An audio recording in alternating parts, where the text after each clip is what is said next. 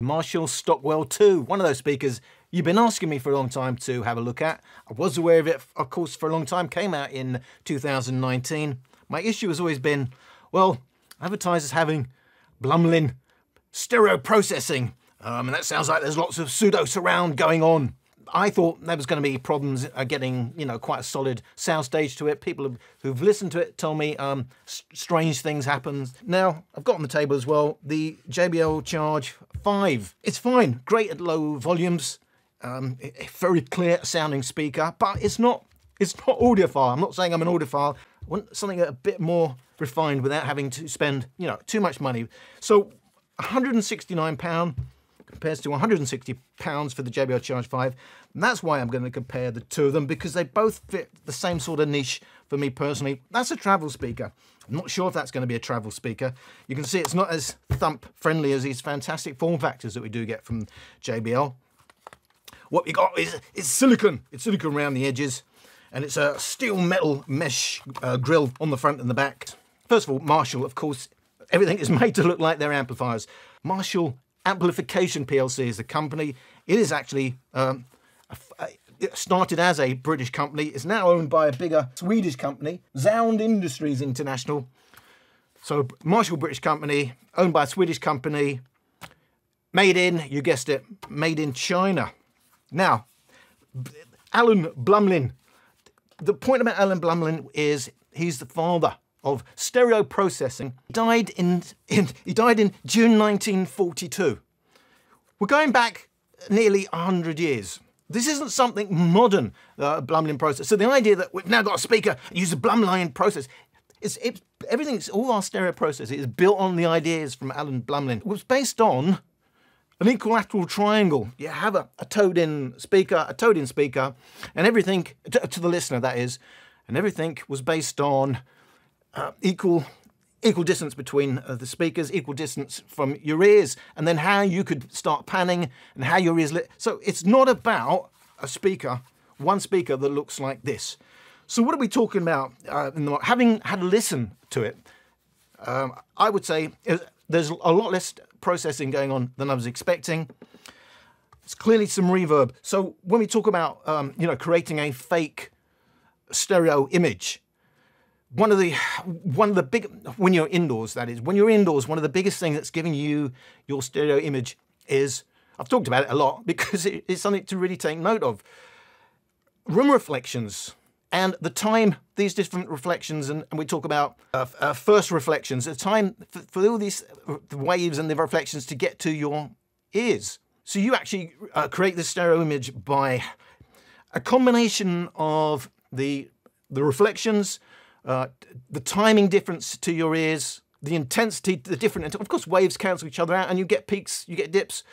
The intensity uh, to your ears uh, will differ, and of course, uh, the phase differences themselves. So, psychoacoustics is an incredibly deep, fascinating subject, uh, to be honest and uh, it's worth well worth delving into how easy it is to trick your ears and the clever things they do. Now, here's the thing: there's, has been to me, it's been very confusing the way people talk about this speaker.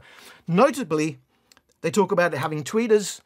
Um, and some people say it's got the rear firing uh, woofer, and some people say it's got a front firing woofer. Well, it turns out we've got a full range driver and a woofer on the front, and we've got a full range driver and a passive radiator on the back. They're slightly offset. If I've got the, the uh, Stockwell 2 in front of me, the, the front full range driver is around here, and that ties up with the full range driver on the back being slightly to the right. So we've got, we've got left and right.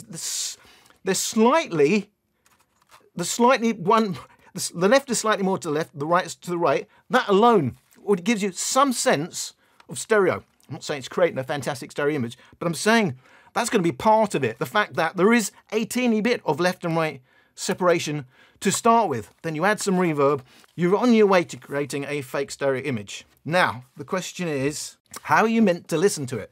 I did a breakdown of all the different ways you can listen to it. So, side on, front on, and rear on.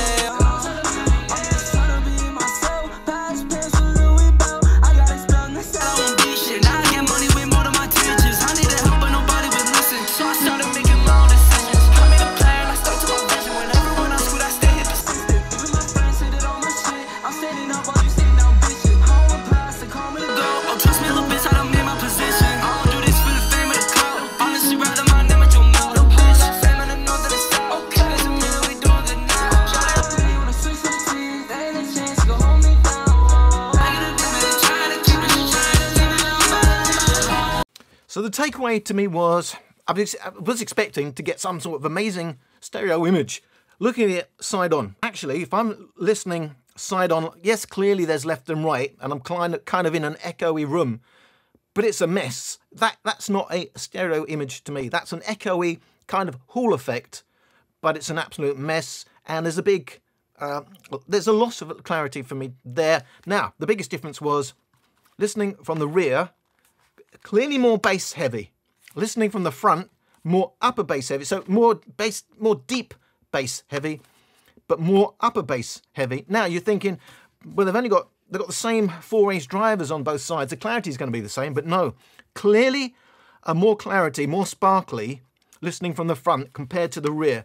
Loudest face on makes most most sense to me. Face on. Having said that, if you favour a deeper bass sound, you will like listening to it that way around, but you're going to lose some clarity. To me, then it, it sounds, still sounds like uh, I, there should be a tweeter on the front when I'm listening that way on. So I decided this is the way I'm going to listen, just to see show you how that actually breaks down when we do the measurements of the frequency response. It looks like this. Default mode, front on. There is some bass adjustment going on. It's clearly more bass heavy at 40% than 60%. And by the time you hit 80% already, it's way more upper bass heavy than it is deep bass heavy. However, if you look at about 60%, it's clearly going down to around 50 hertz. That's looking pretty promising. We do have a bit of a dip in the mids, and there is a peak around 10 kilohertz. But overall, it looks quite balanced, except that by the time you've hit 80%, bit upper bass heavy, but it does maintain bass all the way up to 100% volume. But again, that's upper bass. So listening to the rear side, the effect is you're increasing the deep bass compared to the upper bass. And at the same time, we're losing some of the highs. So it's more obviously deep bass heavy, and you lose some fizz at the very high end compared to default mode. And when you measure it side on, well, the highs are falling off rapidly. It does not look like this is tuned to be listened side on. We do have the option of some hardware EQing on the Stockwell itself. Default position for both the bass and the treble knob is 5, and the range is up to 10, just to see exactly how far we can push bass. Pushing that bass, as you can see, is not just a push, say, in the upper bass or the deep bass. It's actually increasing all the way from 2 kilohertz and down, and it is an increase right the way down. The biggest increase, though, yes, it is upper bass we push the treble, it's increasing all the way from around 400 hertz. And indeed, the higher up the scale you go, the bigger the increase. So by the time you're hitting 2 kilohertz, it's quite a significant increase. The settings I've settled on for front facing listening is bass at 8 and just taming the high end a little bit by setting it at 4, which means it becomes a little bit more bass heavy. But I found that the best balance. So in my tests, and the way I've been listening to it is obviously we have these, you know, one of the big deals about uh, Marshall, we're getting old-fashioned analog knobs on the top. The default position is uh, 5, and it goes from 0 to 10. Personally, I found we really need to push this to about 8 to get a satisfying, uh, deep, rounded bass going on. Listening front on, which is my preferred way of listening, it to me it's a little bit edgy. I wanted to back off uh, that high end a little bit, so I brought it down to 4 just to quickly go fully into the overview of the speaker, just to tell you what's going on. This is a really good example of why, guys, you want to know watt hours, and you can work everything out after that, because a lot of you who don't fully understand will see the headlines for the JBL Charge 5, 3.6 volts, but they'll headline it 7,500 milliamp hours. And then you'll see, oh, 2,600 milliamp hours for the Marshall Stockwell 2, and you're going to think, oh, it's got a tiny battery, and that's got a massive battery, I'm never going to buy, but actually, they're about the same size. Actually, that's a little bit bigger because the voltage is 10.8. So really, we need to all convert these into watt hours, especially moving forward on my channel. Just understand when you start looking for battery capacities, watt hours is where it's at because otherwise you can make that look all sorts of things uh, in specs depending on the voltage you're quoting. So we've actually got 28 watt hour, 28 watt hours for the Stockwell 2. We've actually got 27 watt hours the JBL Charge 5. Bigger battery in the J in the Marshall Stockwell 2. AptX. Been a long time since we could say that.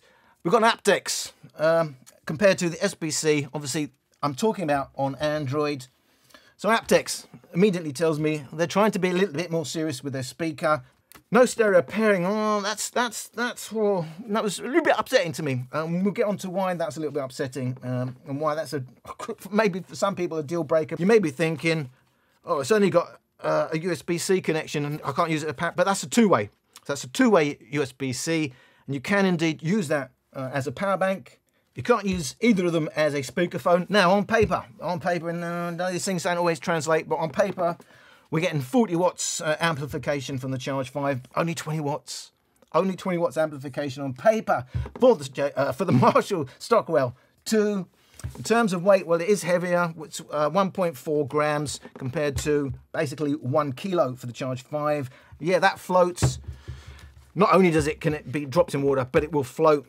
You drop that in in uh, water in anything, you know, say goodbye to your warranty. It's IPX4. No, that's not good. In terms of drivers, it is they aren't tweeters on the Stockwell 2. They are full range drivers. We've got two 50 millimeter full range drivers. We've got the 76 millimeter woofer, and then we've got a passive radiator on the back. In terms of uh, watching YouTube, my test for Bluetooth latency. Uh, JBL Charge 5 is no good on my Android. 125 milliseconds I'm getting, but 50 milliseconds for the Stockwell 2. That's really, really good. So I've talked about my EQ. I've shown you how it sounds different from each side, but I'm going to compare now that default mode um, against my EQ.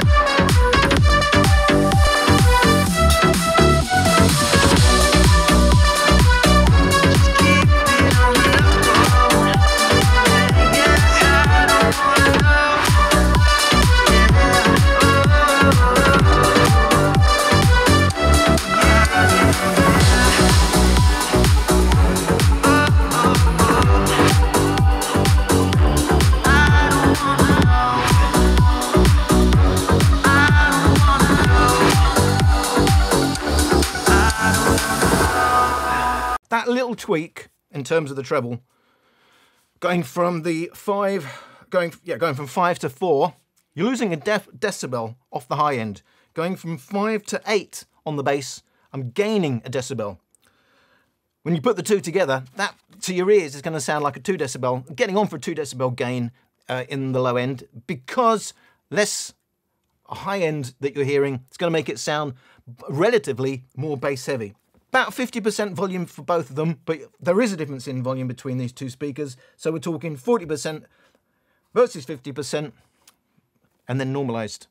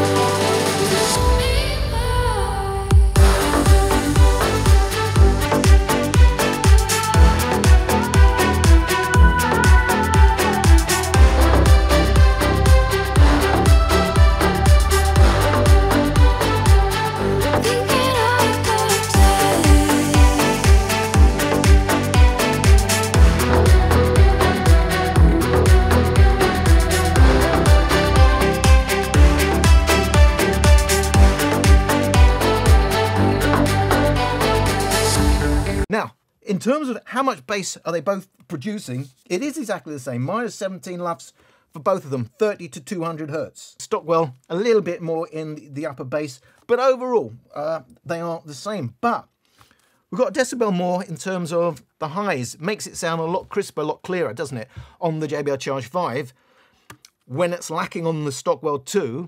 But I perceive that as a little bit thicker in the bass for the Marshall Stockwell 2. Now, the measurements don't, tell, don't say that, but my ears say that. That's how I hear it, simply because we've got less in terms of the actual highs. When you listen, oh, I can hear all, all that processing going on uh, on the Marshall Stockwell, all that reverb, but it's not very natural. You listen to the JBL Charge 5, yeah, it's much clearer, uh, it's much cleaner. But hang on a second, now, let's listen to these two again, but with the original track.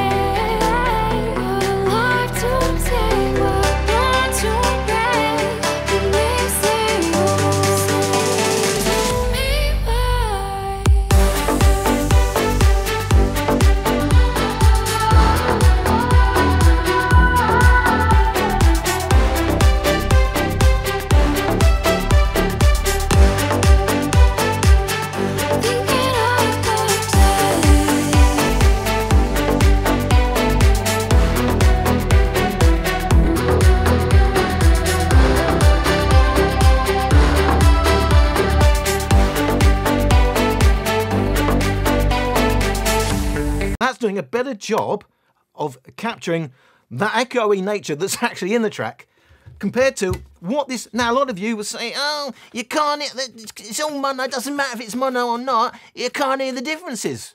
Can we put that one to bed now? The fact that that's mono and that you've got no chance of a stereo image you're losing all that echo. It's completely cleaning it out and it's actually making it sound very uh, very sterile, sterile and lacking any atmosphere that was in the actual track. That echoey, stereoy thing that almost kind of sounds like reverb is actually in the track itself. So mono against stereo, even though it's configured in a funny old way, matters in the real world. I will add though, however, in terms of the bass kicking in and out, the dynamics of that bass I think was captured best on the JBL Charge 5 a little bit thicker and slower, the bass on the Stockwell 2. Okay, let's go on, for me, real world volumes, around 75%.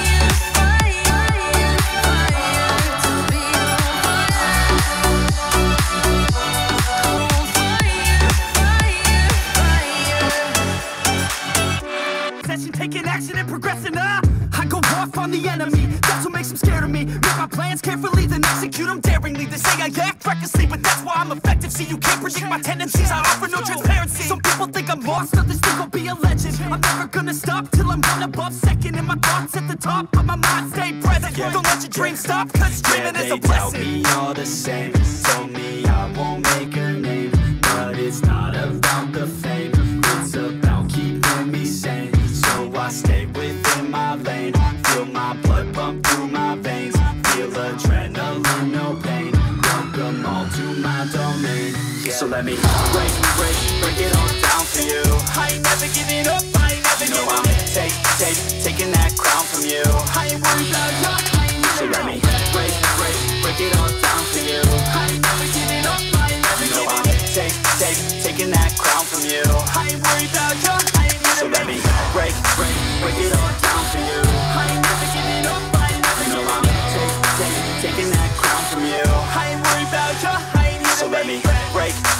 break, it all down for you. I ain't never giving up,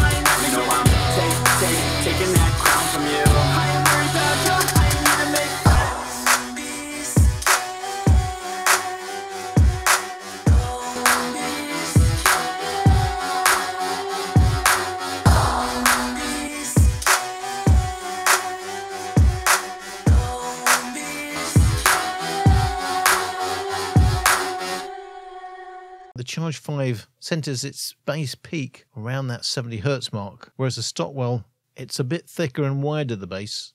And where the Charge 5 is already rolling off from 60 hertz, it's holding up more on the Stockwell 2. By the time you're hitting 50 hertz, we're at minus 35 here on the Stockwell 2, we're around minus 37 on the Charge 5. So about a 2 dB difference at 50 hertz. By the time you hit 40 hertz, is 7 decibel stronger on the Stockwell 2, but of course it is rolled off, but not that rolled off that you can't hear it. Whereas the Charge 5 is pretty much rolled off, but the Stockwell 2 holding up much better in the very deep bass. Otherwise, it's the upper bass and the lower mids where the Stockwell 2 is stronger, but overall, there are more highs on the Charge 5.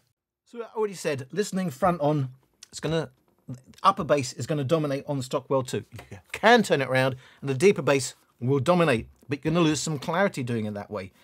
There is a JBL being JBL, there is a big 60 hertz peak on the JBL Charge 5, which which means it's going to be stronger in terms of mid bass. But after you've come off that peak, 50 hertz and below, the Marshall Stockwell 2 is holding up. At the point when, when we're going 50, 40 hertz, we're completely rolled off on the Charge 5. It's, you're not going to hear it. You still hear the deep bass, even down to 40 hertz. I'm not saying it plays meaningfully down, but it's not completely rolled off. 50 hertz you can certainly hear. There's a lot more going on. For me, for serious listen, it's far more satisfying uh, than the JBL Charge 5. I do like the JBL Charge 5. It is crisper, but it completely lacks, for me, the, the atmosphere and the, and the mids. This is upper bass, mids uh, focused, certainly listening face on. I quite like that. If you don't particularly like that, you may prefer the JBL Charge 5. Let's try them at maximum volume.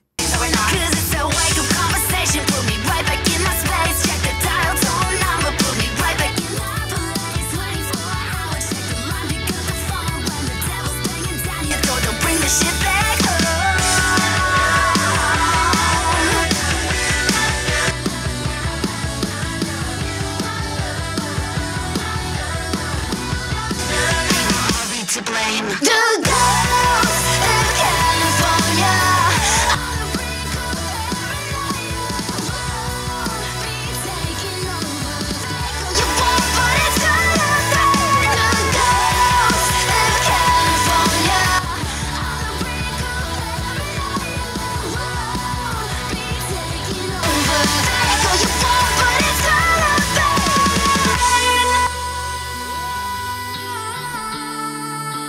So the JBL Charge 5, by a long way, the loudest, minus 12 LUFS, 7 decibels up on the Stockwell with its bass and treble maxed out. Using my own EQ, it's only a tad behind the Stockwell with its maxed out EQ. The peaks are the same, and the difference between maxing out the bass and the treble and having my own treble at slightly below default at 4, bass set at 8, is that even though bass here is 10, bass here is 8. I've actually got less bass, not by a huge amount, but less with the bass turned up even more. We're losing it in Upper bass 29.2, that's about half a decibel down on the Stockwell with bass at 8. And in the lower mids, mids as a whole, minus 22.9, getting on for a decibel behind the Stockwell with my EQ compared to stock. So what's happening? Ha- what's happening is once you set treble to max, it's favoring the treble over the bass. If I quickly switch between the two, you can see the treble, well, the high end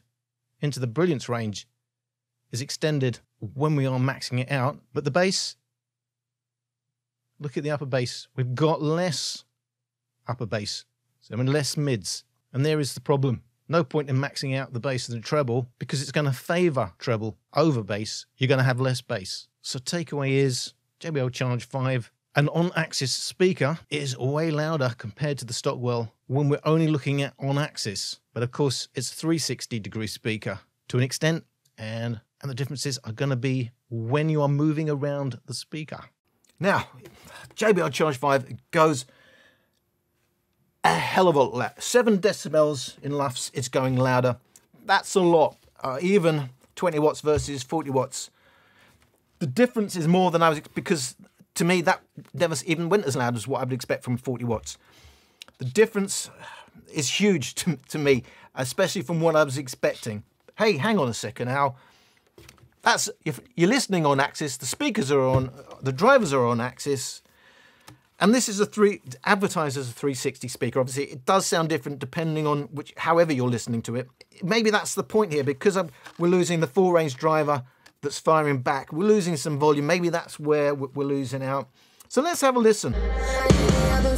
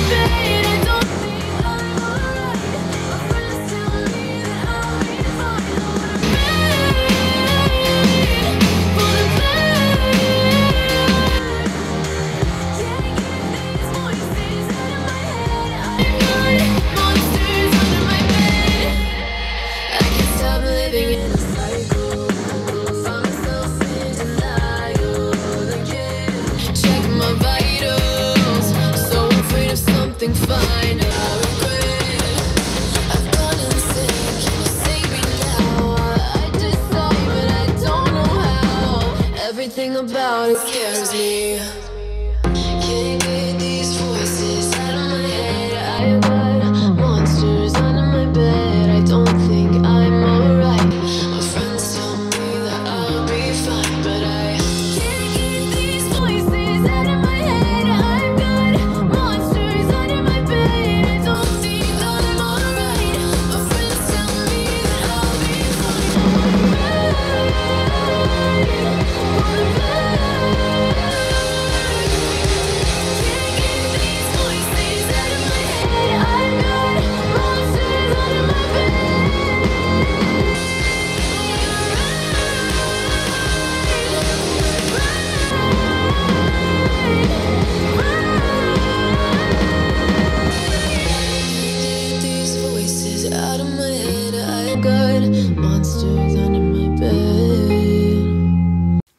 So even listening to the rear was a surprise to me. The JBL Charge 5 is still louder. However, it's not much of a listen. You you completely lost all clarity, and the difference in volume now is not that great. It's two decibels, so it has evened things up. It's it's that's still a, a decent listen uh, from the rear. So if you're moving around the room, whether you're front or back, you're going to get a decent listen. Whereas on the on the sides, uh, the JBL Charge 5 is still massively, you know, I mean, lording it over the Stockwell 2 because that's a mess from the side and that's much louder and you still get clarity. So I can only say if you're listening at maximum volumes, the only time the Stockwell 2 is going to make sense if volume counts is you're literally moving around the room because it still sounds good from the back. And the difference in volume isn't that great anymore, and you've got no clarity at all once you, you're to the, the rear of the JBL Charge 5. Uh, I have been surprised by the J, by the Marshall Stockwell 2.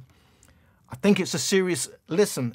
I not really. Obviously, there is some reverb going on. It's not quite like having a tight image, but this this is a serious listen. I, I'm really enjoying listening to it. The bass. I mean, I- it's a really tight bass. Clarity is there. The mids are there. It's not going loud, is it? So if you're if you if you're going to just rock out and you want to party, that's not the speaker. And I mentioned right at the beginning, no stereo pairing. Oh my god! Because I can only imagine two of those for you know a little bit more volume and even more uh, of a proper stereo image could have been the game changer for uh, for the Stockwell 2. By the way, that's a, a leather strap. Um, I really enjoy it. Okay, it's a funny old form factor, but quite honestly, it works. It's a, I'm not going to say, oh, I wish I could drop it in water. You know, you don't really want to be dropping your speaker in water anyway. So this does fulfill a niche that I was looking for. A nice little compact portable. By the way, that's a lot smaller than I was. I know I've seen it, people holding it, but when I got my hands on it, maybe because it looks like the bigger amplifiers, but it was still a lot more, a lot smaller and more compact than I was expecting. So it's a small, compact travel speaker to which I can have a serious listen, you know, and not just have a little bit of a party and a little bit of fun. This, this, this. I'm really, really pleased uh, for this, and I'm thinking maybe I need to try some more of the, uh, the Marshall speakers, but unfortunately, they're not the cheapest on the block. So this is supposed to be the conclusion. The conclusion is I would, I definitely recommend the speaker. Just know its limit, limitations. Uh, and is it my pound for pound champion? No, because of the the price and the volume's not there. I thank you for watching this video, and I hope to see you again. That life. Ain't no project wife, got my logic right, cause I'm not your type. I ain't about that life. I ain't about that life. Sorry, ma, I ain't get it right. I'ma just live my life. I ain't about that. I ain't about that life. Uh.